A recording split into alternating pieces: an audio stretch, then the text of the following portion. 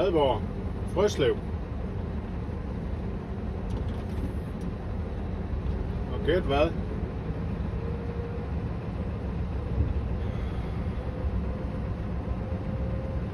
Jeg skal hente korn med tiptrailer.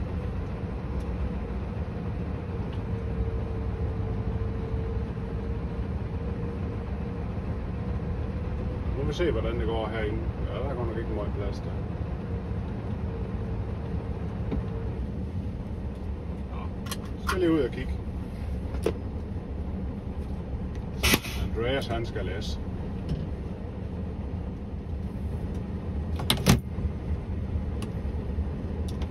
Så prøver vi til med det der.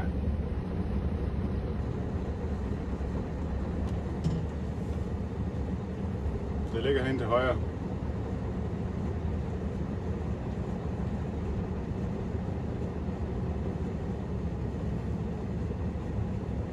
Jamen, der, er- der er næsten masser af plads.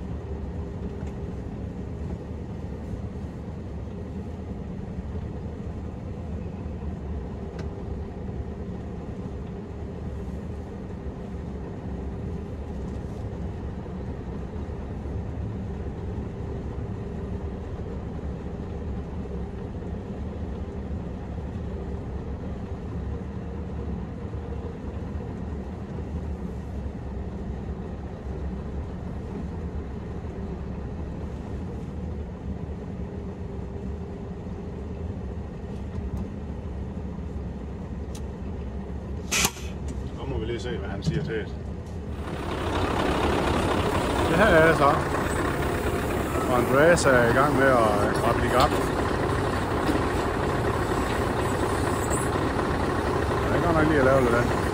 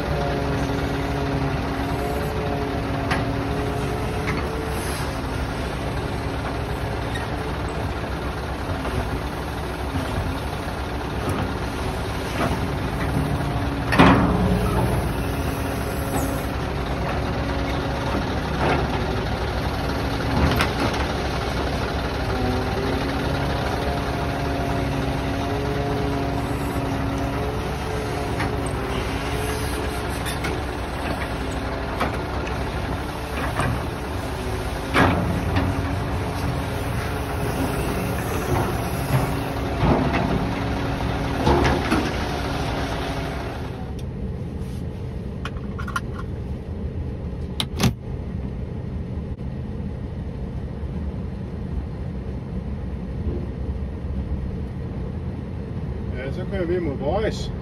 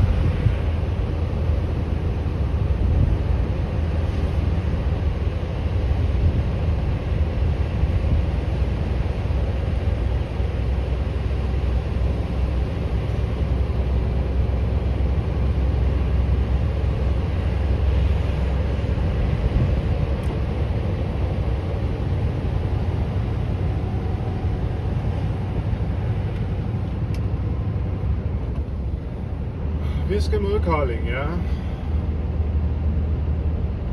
Så vi øh, det er ikke rart.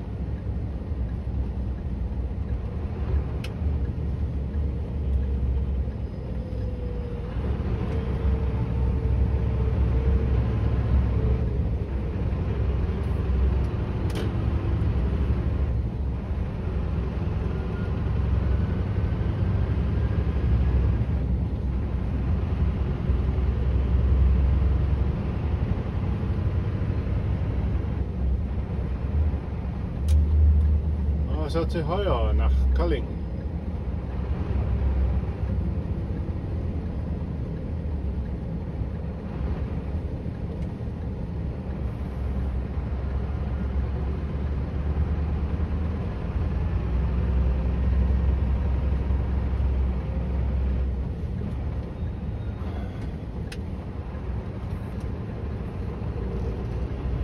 Nej, nej, men ingen stress. Ingen stress.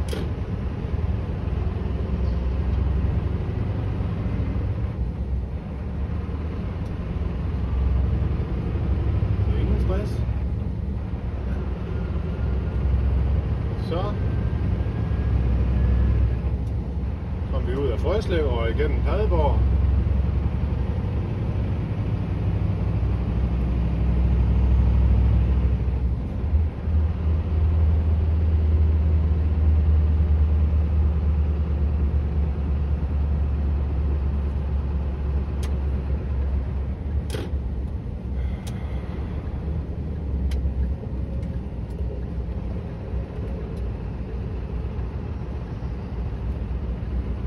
Så går vi ned på motorvejen, og så er det op til Kolding.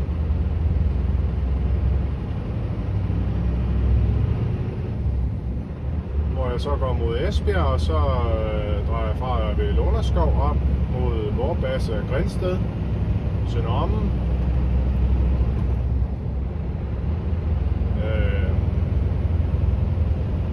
og så øh, fra Sønderommen, så er det op over Ja, hvad hedder det nu? Jeg kan aldrig huske, hvad det hedder derude.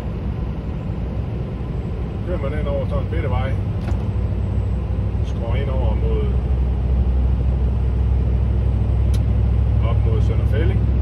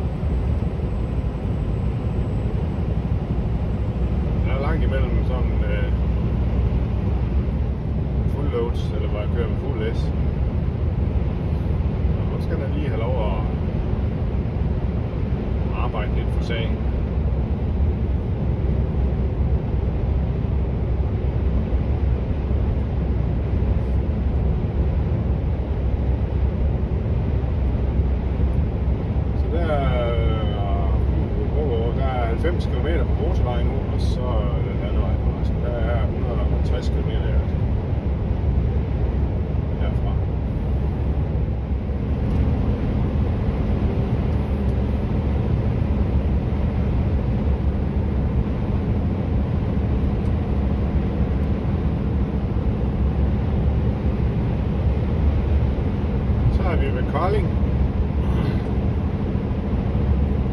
Så skal vi bare lige bremse ned ad bakken her, og så give noget gas op ad bakken, og så... Øh,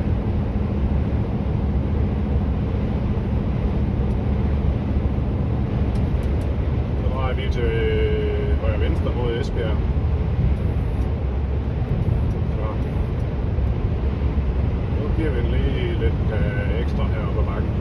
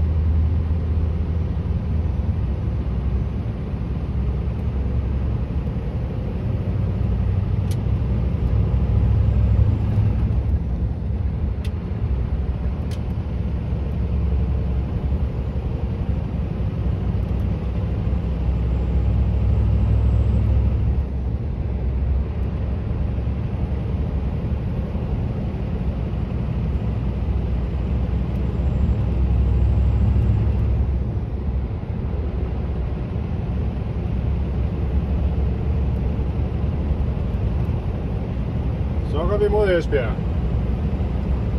Og så skal vi dreje mod øh, Lunderskov, eller dreje af ved Lunderskov om 9 km. Om 10 minutter. Så drejer jeg der mod Vorbass øh, Grindsted.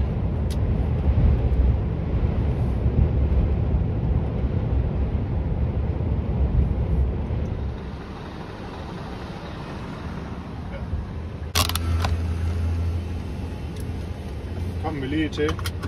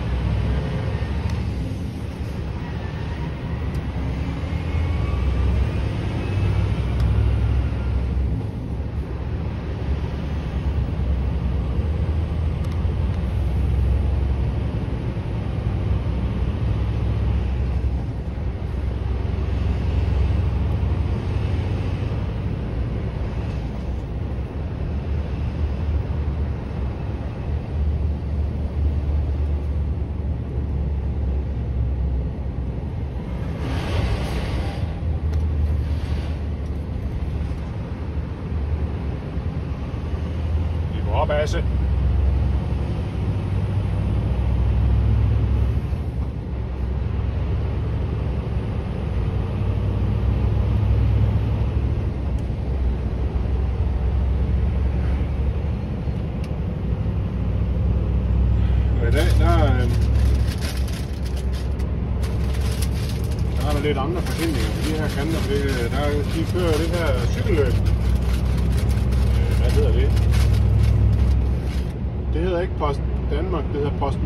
Danmark rundt.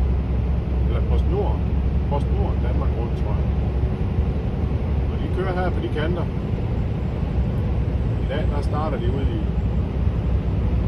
Ringkøbing. Så skal de køre over Skjern og Tarm og ud på Bøland og Hovn og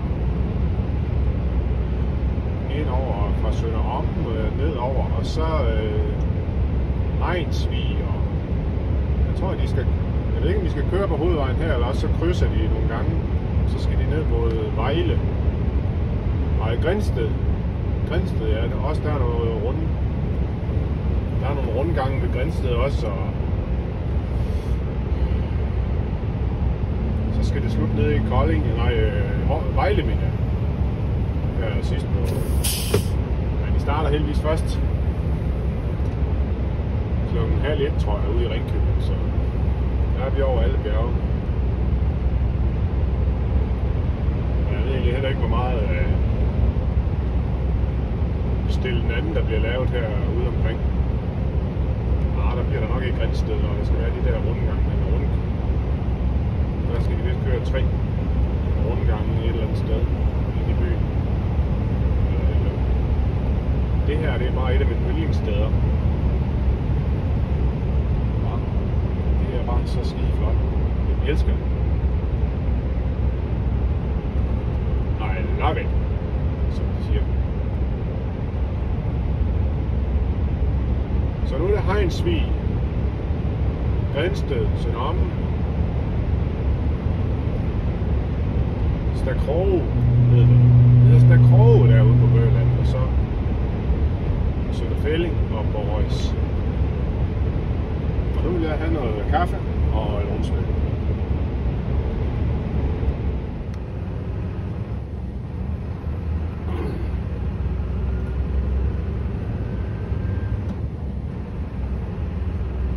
Så er der fest i Sønderommen der.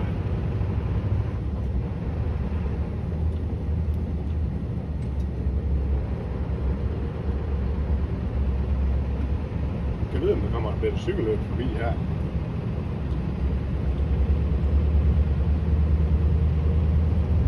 Men øh, jeg sprang lige over bageren her.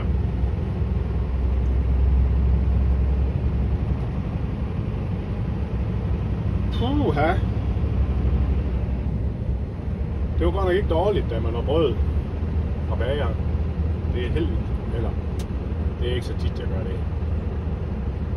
Fordi det bliver man godt nok... Øh,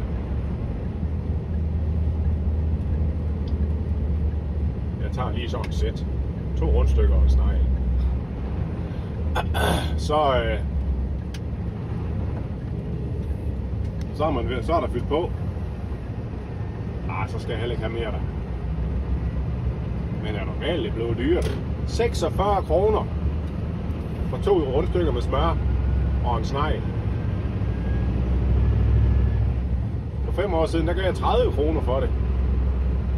Ah, den har måske altid været lidt dyrere bageren i Vorbass, ja, det tror jeg. Det er ikke så let, da.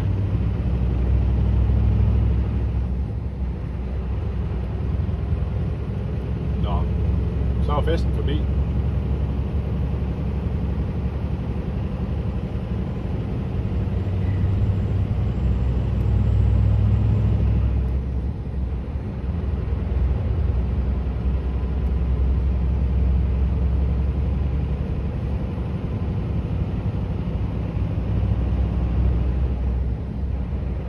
Jo, skal vi lige huske at få hold på der.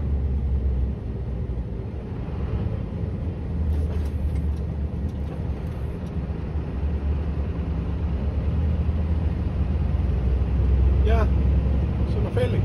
Stakroge. Stak er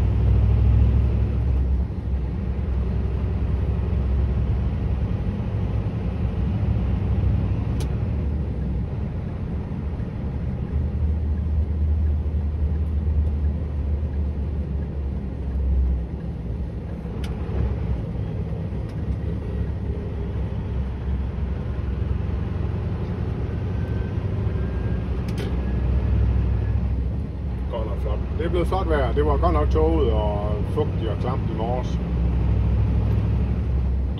I går der sad vi ude og spiste. Der var der jo 25 grader der, da vi sad og spiste ude øh, på terrassen. Det var overskyet. Klokken halv syv, der sad vi, der var der 25 grader. Det var dejligt. Jeg var også lige i at pool ja, sammen med Mette. Det er knejt.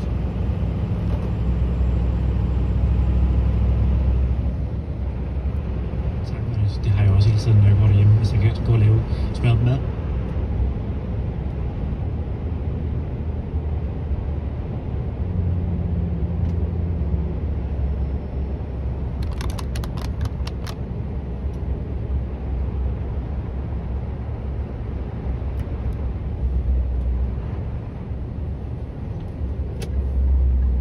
Lamborg.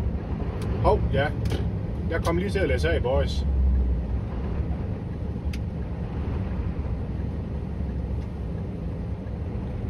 Var vi oppe øh, ved Lomborg, op øh, der hedder der Lemvig. Og øh, det sidste, det første læs, det var ro. Og øh, nu skal vi hente, øh, nu skal jeg hente et læs. Øh, hvad fanden det? Øh, Grønhaver. Ja.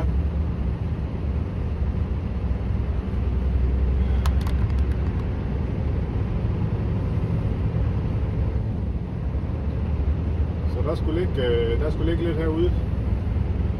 Og det er en anden øh, kollega, Leon tror jeg han hedder, der skal læse det. Så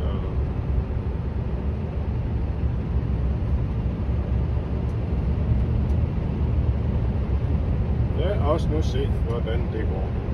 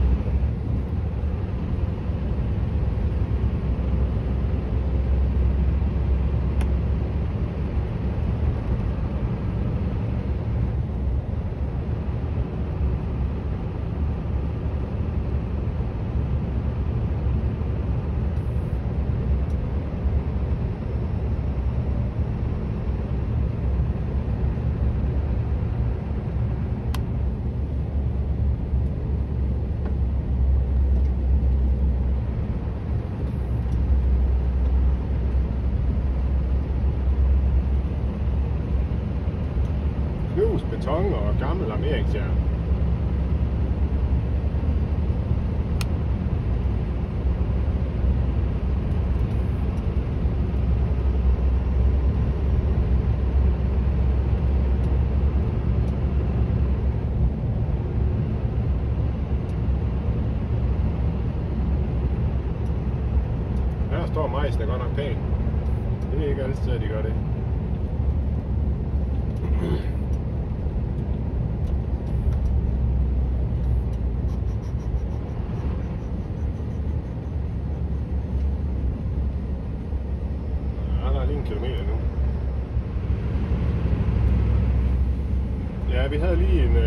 Crisis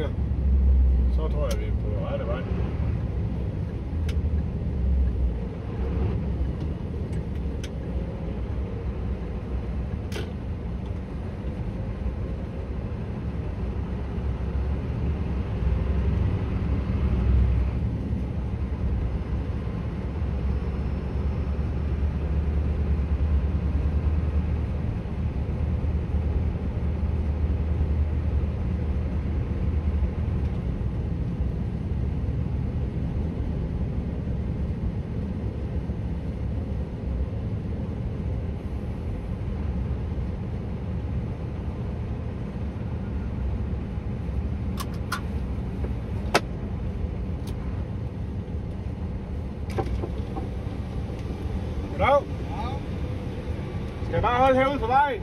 Ja, der er ikke noget for. Nej. Ja, det længere frem, eller? Ja, det her.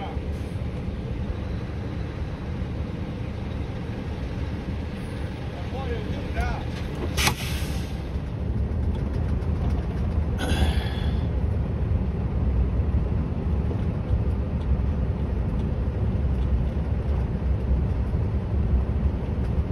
er så fik jeg Las Grønhavre.